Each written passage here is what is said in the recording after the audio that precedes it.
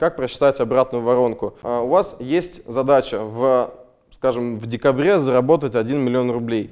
1 миллион, миллион рублей а, рассчитывается из, скажем, среднего чека 25 тысяч рублей, то есть 30 продаж по 25-30 тысяч рублей. Сколько нужно сдел сделать заявок, чтобы а, сделать 30 продаж по 30 тысяч рублей. Скажем, из заявки в продажу это будет, ну, скажем, 10%.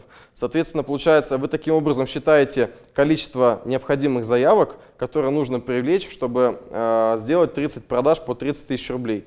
Дальше вы рассчитываете, сколько примерно стоит клик в вашей рекламе. Таким образом, вы умножаете стоимость клика э, на необходимое количество кликов, чтобы произвести одну заявку. Дальше вы берете и считаете полный бюджет – на э, весь свой интернет-маркетинг. И после этого у вас получается обратная воронка. То есть, чтобы заработать 1 миллион рублей, вам, предположим, нужно вложить там 300 тысяч рублей в маркетинг.